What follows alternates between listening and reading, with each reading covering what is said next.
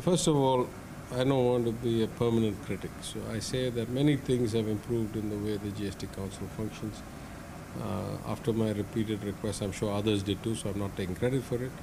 But for the first time, at least since I became a member, we had almost a two week advance notice of the meeting.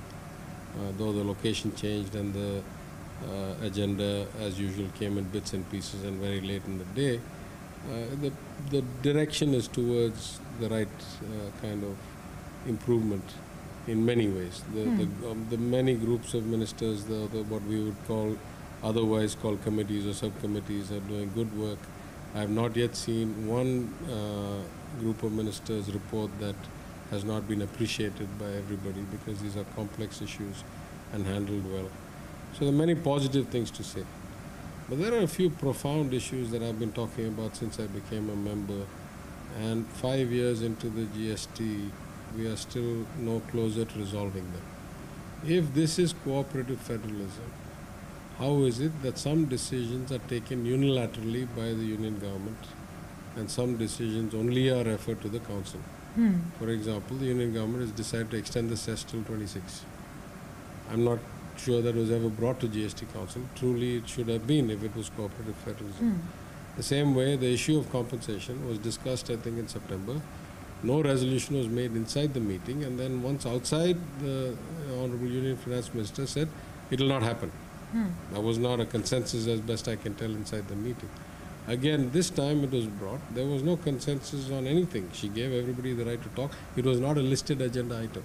So clearly, without her and the conveners, Uh, which is the Revenue Secretary, Mr. Bajaj's consent, the topic could not have been taken for discussion. Hmm. And yet, at the end of the discussion, we all walked away with no no resolution, no clarity, no. Hmm. And this is not atypical. It's it's not always, but it's not atypical. There are other instances where I can think of where we talk and then no decision is taken and we just walk away.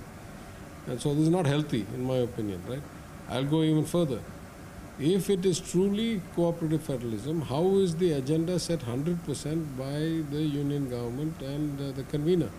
Surely the convener should take inputs from people like us, uh, from the members, and say, do you want anything listed on the agenda? You know, a good, Yeah. a well functioning professional organization, three weeks before the meeting, would send a note to all the members and say, We are planning to have a meeting roughly this time. This is the rough agenda we're thinking about. Is there, you know, anything else you would like added to this? Hmm. And then collate an agenda that include the input of many members, hmm. and then send it out. Okay, doesn't happen. Never mind. At the last minute, you say any other business, like they did today, and take it. But that should be discussed to a conclusion, not left suspended in the air. Neither did they say yes, nor did they say no.